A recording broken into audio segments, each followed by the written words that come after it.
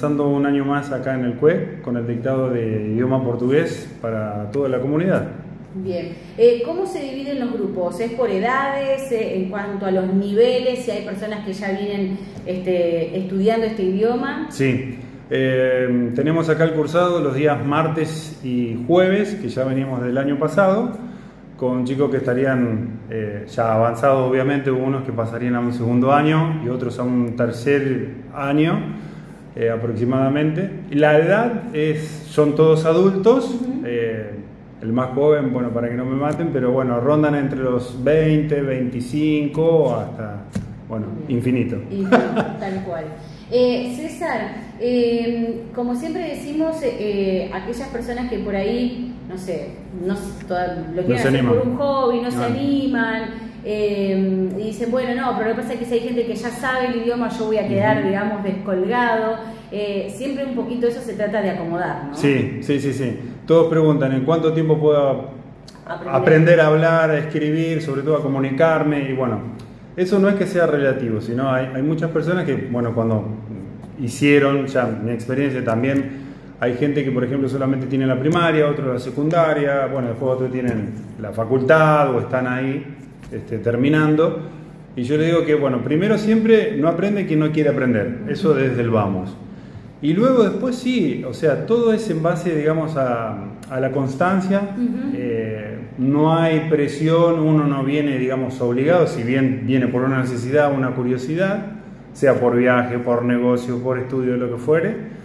Y más o menos uno alcanza una cierta competencia que es inicial en un año. En un año ya se puede estar entablando una conversación. Aprender o poder comunicarse. Exactamente, hablar un poco en pasado, en presente obviamente, porque uno siempre va a la parte gramatical, de los verbos y demás, porque uno nunca termina de aprender, ni siquiera siendo profesor, licenciado, lo que fuere, siempre uno va aprendiendo, va adquiriendo todo ese bagaje, va acumulando, y bueno, y a partir de ahí es continuar y animarse, obviamente.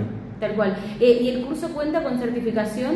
Sí, el CUEC está, ya inició los trámites el año pasado, así que estamos a la espera de la, de la aprobación del Ministerio, así que nos han comunicado que están un poco retrasados, pero está todo en camino, obviamente. Y aprovechar para comunicar que, bueno, eh, ya como había dicho, los martes y jueves eh, ya venimos con, con, alumnos, con personas del año pasado, aquellos que estén interesados o que tienen cierta competencia también podrían sumarse y si no se abre un, nuevo día, un, nuevo horario de grupos, así de inicial o principiantes, los días miércoles. ¿Horarios? De 6 de la tarde a 7 y media y de 7 y media a 7.40 a 9 y cuarto más o menos.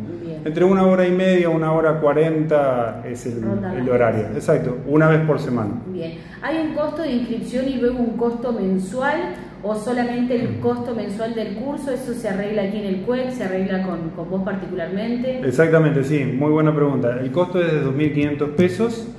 Es para toda la comunidad aquellos que tienen el beneficio, o sea, tienen un beneficio por ser empleados de comercio, tienen un reintegro y después aquí, bueno, yo como profesor arreglo, digamos, el, porcentaje con el CUEC, porque ya nos presta, tenemos todo para dictar las clases, eh, tenemos internet, tenemos todas las condiciones que, se tiene que, que tenemos que tener, ¿no es cierto? Tenemos refrigeración, baño, todo. La verdad estamos muy cómodos acá.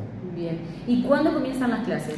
Empezarían el 8 de marzo, el Día de las Mujeres. Bien, así que hay estos últimos días para anotarse. Sí, pueden anotarse durante esta semana a los teléfonos que, aparecen en todos los medios de difusión, por WhatsApp, acá en el CUEC o por mi teléfono también particular durante esta semana y también por la otra también porque siempre sucede que se enteran tarde o por ahí no se no alcanzan ahí a definirse.